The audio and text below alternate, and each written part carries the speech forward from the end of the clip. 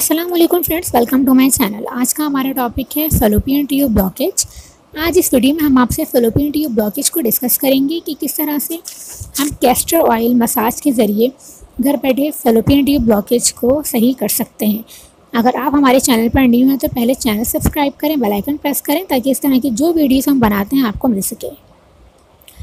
आप अपने टॉपिक के जाने बढ़ते हैं fallopian tube blockage fallopian tubes को पहले समझ लें। फेलोपियन ट्यूब्स जैसा आपको इस तस्वीर में नज़र आ रहा है ओवरीज दोनों ओवरीज के दरमियान दो फाइन ट्यूब्स हैं ओवरीज और यूट्रस के दरमियान।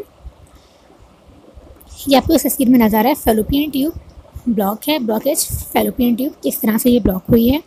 फेलोपियन ट्यूब्स में ये होता है कि ओवरी से जब एग रिलीज़ होता है तो फेलोपियन ट्यूब से, के ज़रिए ही वो यूट्रस तक पहुँचता है।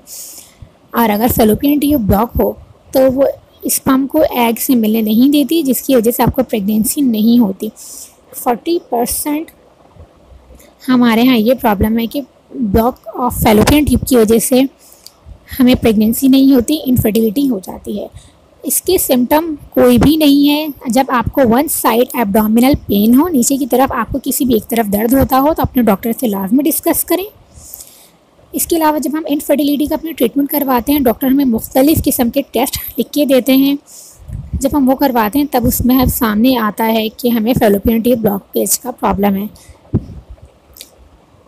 इसके अलावा फ्रेंड्स जो कॉजेज़ हैं, वो है, अगर आपको कोई पुरानी, कोई पिछली पास्ट एब्डामिनल सर्जरी हुई हो फिब्राइड्स का प्रॉब्लम है, या फिर सेक्जुअली ट्रांसमिटेड डिज़ीज़ है एंडोमेट्रियोसिस है, आपका सी सेक्शन हुआ है या पेल्विक इन्फ्लेमेटरी डिज़ीज़ है, कोई या फिर आपकी पास एक्टॉपिक प्रेगनेंसी है, कोई ऐसा कोई तो फिर आपको जो है ये प्रॉब्लम हो सकती है कि आपके फेलोपियन ट्यूब ब्लॉकेज का प्रॉब्लम हो सकता है आपको।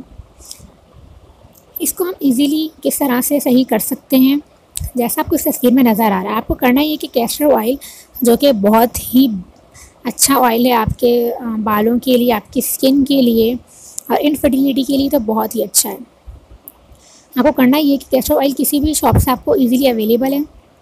कुछ में मिंट भी शामिल होता है, आपको परेशान होने की ज़रूरत नहीं, आप मिंट वाला भी ले सकते हैं। मिंट वाला आप कैस्टर ऑयल लीजिए, आप उसको अपने एब्डोमेन पे और नीचे की तरफ़ अच्छी तरह से रब कीजिए। रब हल्के हाथ से करना है रब ना भी करें तो नो प्रॉब्लम आप इजीली लगा लें। उसके अलावा तौलिया लीजिए, उसके ऊपर आप रैप करें और कोई प्लास्टिक की कोई शीट या कोई रैपिंग शीट से आप इजीली अपने ऊपर एरिया को एबडामिनल को और नीचे जो एरिया है, कमर की तरफ़ का आप उसको इजीली रैप कर लें। और बेहतर ये होगा कि अगर कमर के नीचे तकिया लगा लें या कोई कुशन वगैरह रख लें तो ज़्यादा अच्छा है। उसके बाद ये जो वाटर बॉटल आपको तस्वीर में दिखाई दी हॉट बॉटल इसको आप अपने एबडामिन के ऊपर रखिए। हल्का गर्म पानी लेना है, ज़्यादा तेज़ नहीं लेना। ये आपको एक से दो महीने करना है। उसके बाद अगर आप आप जाके डॉक्टर से डिस्कस करेंगे, अपना जो टेस्ट करवाएँगे, आपको पता चलेगा कि जो फेलोपियन ट्यूब ब्लॉकेज था, उसमें बहुत फ़र्क आएगा। इसके अलावा फ्रेंड्स, जो मैंने लोगों को करते हुए देखा है, वो इजीली आसान तरीके से ये भी कर सकते हैं कि कैस्ट्रो ऑयल लीजिए उसको अपने पेट पे हल्का सा रब कीजिए और नीचे पीछे की तरफ़ भी आप कमर की तरफ़ भी रब कर सकते हैं।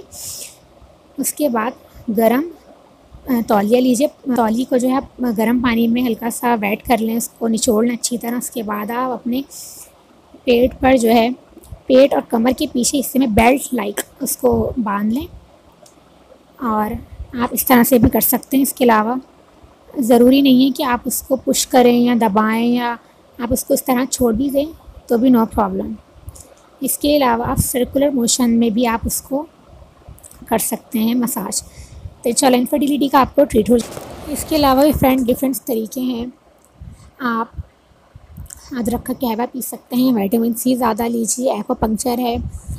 कैशो ऑयल मसाज है, जैसा आपको मैंने बताया. और योगा भी आप ट्राई कर सकते हैं फेलोपियन ट्यूब ब्लॉक को अपने अनब्लॉक करने के लिए. वीडियो अगर अच्छी लगी हो तो शेयर कीजिएगा लाइक कीजिएगा। जजाकल्ला